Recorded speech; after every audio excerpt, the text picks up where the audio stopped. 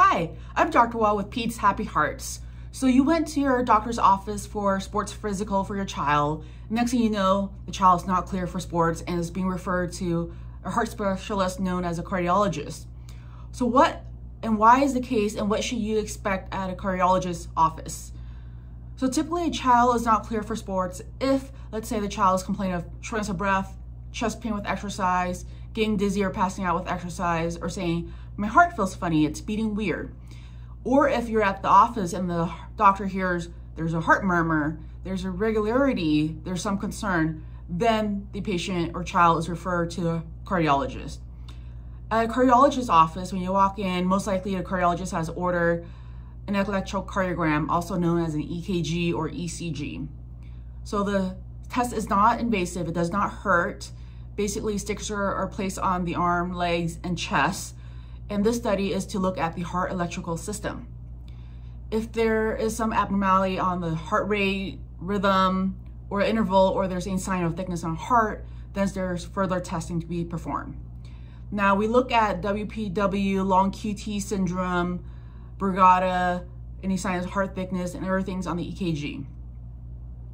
If everything looks good, then that should be it. But if there's some concern, then ultrasound of the heart, also known as an echocardiogram, is performed. An echocardiogram is also a non-invasive test. It takes about 30 minutes to 60 minutes for the study to perform. It looks at the heart in real time. It looks at the chamber of the heart, the heart valve, any obstruction, how the heart's squeezing, looking at the corners itself to make sure everything's normal. If everything looks good, exam, tests, history is good, then the child can be cleared. If there's further abnormalities or there's concern, then further testing that can be performed could be a stress treadmill or a stress echocardiogram. These tests require the patient to be running on a treadmill to their, their peak performance or as much as they can um, while looking at their heart rhythm at that case. For a heart ultrasound or a stress echocardiogram, the kid will need to run really hard before they stop. And once they say, I can't continue, then the patient will stop and then we'll look at the heart, how the heart's squeezing at that point in time. If that looks good, then the kid can be clear. Now, if there's further concern, then treatments may be performed. If there is some abnormality, it does not mean the child can't play sports. It's more of what do we need to do? Is there treatment? Is there prevention? What needs to be done to help the child play safely?